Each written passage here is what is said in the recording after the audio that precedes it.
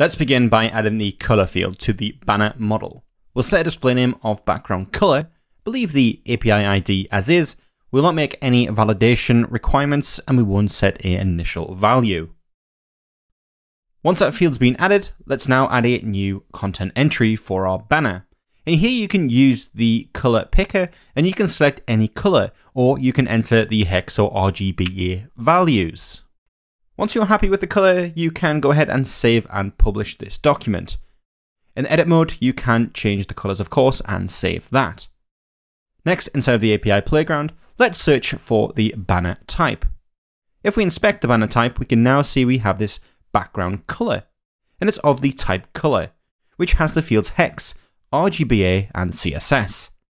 RGBA has its own type of values. Now let's go ahead and query all of our banners.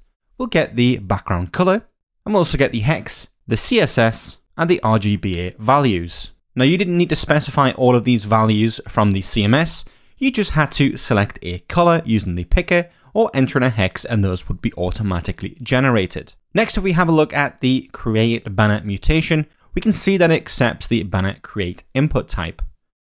And we can set the background color through a GraphQL mutation. We can either set the hex value or the RGBA value. So inside of the API playground, now let's run that create banner mutation and pass it the data with background color. And here we'll pass it the hex value.